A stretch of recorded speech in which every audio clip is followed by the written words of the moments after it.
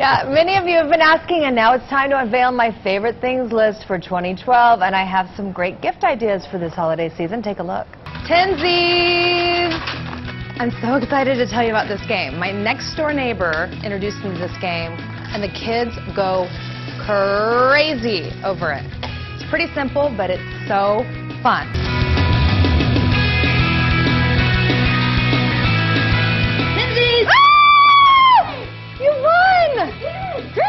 That's such a fun game. Was that a drinking game back in the day, Tenzis? No, it's a uh, new game and Oh. it's for kids. And I think it's the perfect size for a stocking stuffer, too. Yeah, it is, too. It's reasonable. I am going to put where you can find all this stuff on Well, where do you get. Tenzis? Just tell me where you get Tenzis. Oh, Red Balloon. Red Balloon, Toy okay. Store, yeah.